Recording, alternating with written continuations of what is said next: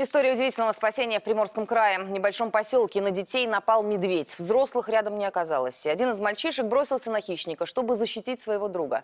Неизвестно, чем бы все закончилось, если бы не крохотная дворняга. Репортаж Макара Руденчика.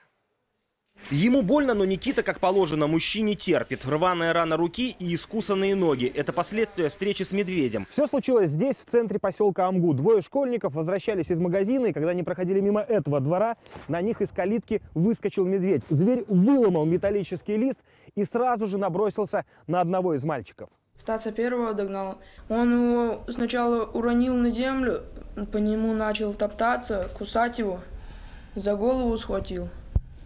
Потом за плечо и за спину кусал. Я увидел это, на, на медведя побежал. Сам погибая, товарища вручай. Никита со слезами на глазах вспоминает, как сильно испугался за восьмилетнего друга и совсем забыл о собственной безопасности. А вообще не думал об этом, как будет. Главное спасти его. Он побежал на медведя и спас меня. Ему по башке камнем дал. Стасу повезло, у него только царапины и ушибленные раны. Когда Никита отбивался от хищника, на улице взрослых не было. Ребенок мог погибнуть, если бы не эта маленькая собачка, совсем не охотничьей породы.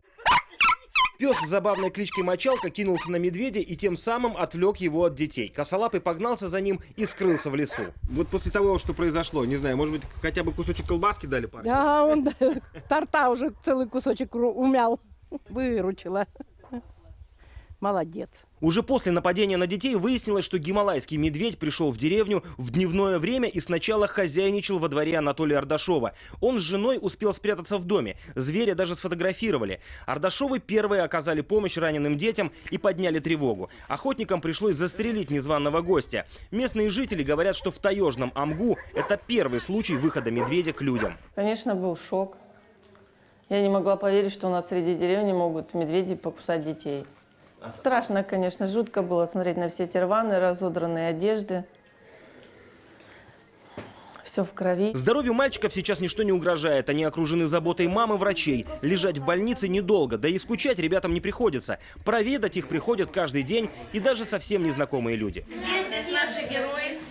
Здравствуйте, мальчики! К вам пришел третий класс Б Пластунской школы. Дети принесли сладкие подарки, и некоторые захотели подружиться с маленькими героями. Ребята обменялись номерами телефонов. Поступок Никиты вызывает восхищение и у взрослых. Вот так вот взять и, как говорится, глаза в глаза, смотря на хищника, бросить в него камень, попытаться отбить друга. Это мужской поступок. Не все встречи с медведями заканчиваются так удачно. В этом году в Приморье один человек погиб и восемь серьезно пострадали. Всего зафиксировано более 20 опасных ситуаций, когда звери заходили в населенные пункты. Причиной тому неурожай кедрового ореха и недостаток других кормов в тайге. И этой зимой, по мнению экологов, проблема может усугубиться. Из-за голода не все медведи впадут в спячку. Макар Руденчик и Сергей Торопов. Первый канал. Приморский край.